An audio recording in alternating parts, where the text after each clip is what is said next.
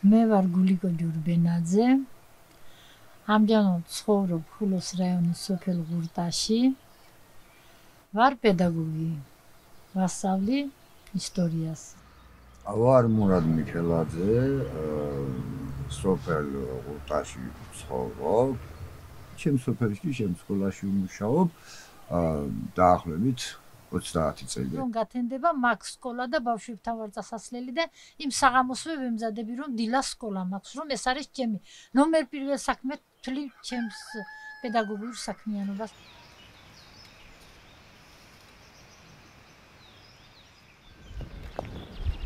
წავედით სამუშაოს.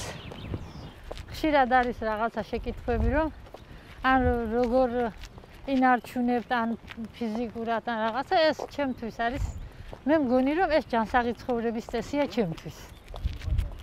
და თუნდაც ჩემი უღლისთვის და არავით არის არც დიეტა გჭირდება არავით არის რაღაცა შეზღუდვები ვართ შვიდად ნარად ტკბილად შერგებულად. გამარჯობათ გამარჯობათ გამარჯობათ. სტუმრები მოგიყვანეთ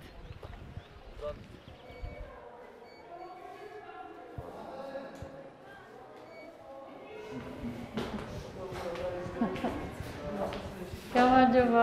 გამარჯობა. უფრო უფრო ლამაზდება.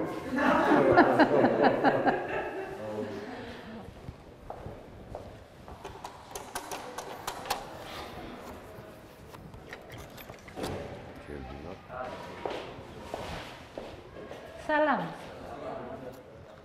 დაბძანდით? სალამ. დაასხედით. ხშირია რომ რაღაცა ისეთი ახალი აღმომიჩენია ამ ბავშვების თავისუფალ აზროვნებაში რომ მეც არ მიფიქრე ასეთი რამე თუ იფიქრებ და მოსწავლე. ეს კარგია. ეს მე მსიამოვნებს. არც ესეთი შეკითხვა არ არის სირცხვილი. შემეკითხეთ შემეკითხოთ იმ დასმულ შეკითხვაში ჩანს ეს რაზე ფიქრობს ეს ბავშვი რას ფიქრობს როგორ ფიქრობს?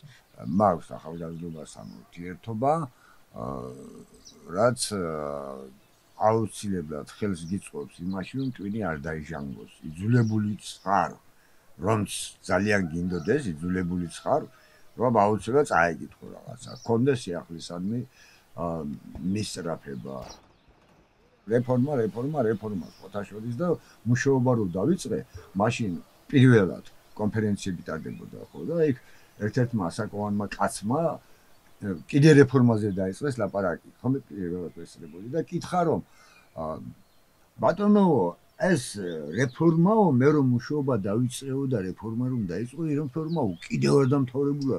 სკოლაში დაუბერდი კაციო, ხო და ეს როგორ ჩანს ასია მოდმე რეფორმა, რეფორმა მიდის და უნდა შევეგულოთ, მაგრამ რეფორმას რამოდევ შედეგი აქვს.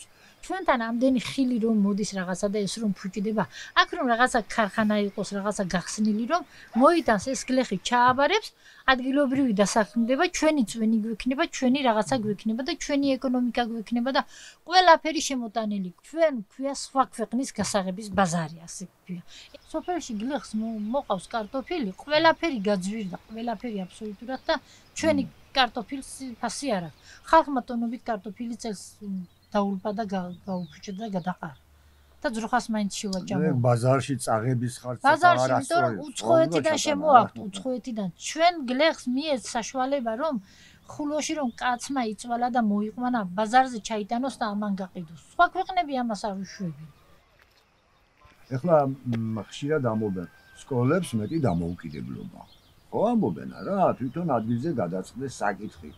სკოლებს მე მაგრამ თუ სკოლებს აძლევ შენ დამოუკიდებლობა და დამოუკიდებლად ну ყველაფერი გადაწყვიტოს თვითონ მაშინ სამინისტრო თვითონ იმაზეც უნდა ზრუნავდეს რომ მან პასუხისგებლობა კი არ უნდა მოიხსნას რომ ეს უკვე ა ამ სკოლებს დირექტორები ყავთ დააკეთებენ ყველაფერს და მე კი დავჯერები ასე ვიქნები. არა ეგ არ არის შენ უნდა იყო ძიებაში ყოველთვის უნდა ეძებდე რომ აი შენ რომ უფლება მიეცი რა მოხდა უკეთესი დარჩა ხო რა თქმა უნდა თორემ მაგით დახმარებას რომ ადამიანი ნახადროებითი სამუშაო. ამ დროებით სამუშაო დაფიქსირდა ამას დახმარება მოიხსნა. ამ კაცმა 2-3 თვის მერე ეს დახმარება შეუწყვიტეს და სამი თვე იმუშავა აღარ აქვს წლები სჭირდება რომ ის სოციალური დახმარება ისეო და ამიტომ კაცი იძულებულია მუშაობა ა ვერ დავწყობ მუშაობას რომ დახმარება არ დავყარგო. ეს რაღაცა უნდა იყოს განსახურული და ანდა კაც რომ ძროხა ყავს იმას დახმარებას რატომ უხსნი? ძროხას აღარ ინახავს კაცი ძროხას რომ დახმარება არ მომიხსნან. ეს უგუღმა ძალიან გაუგუღმართებული ეს არის შეიძლება ქათამის ყავდეს ძროხას ყავდეს და დახმარებაც გქონდეს. ჩვენთვის არის სასიცოცხლო მნიშვნელობის გზა რა შეიძლება გზას აი ხოლო ზაზმის მონაკვეთს ძალიან ცუდი მონაკვეთი არის დაშლილი არის გზები უჭის ტრანსპორტირება მოსახლეობასაც უჭის გადაადგილება თუნდაც ჩამოსვლელი იქნება თუ დამსვენებელი იქნება ესედაც ცოტანი არიან მაგრამ მაინც ამჟამად ამის შენებლობა თვალნათლივ ჩანს რომ მიმდინარეობს მაგრამ შეჩერდება თუ გაინარგდება, მაგას ნამდვილად ვერ გეტყვი.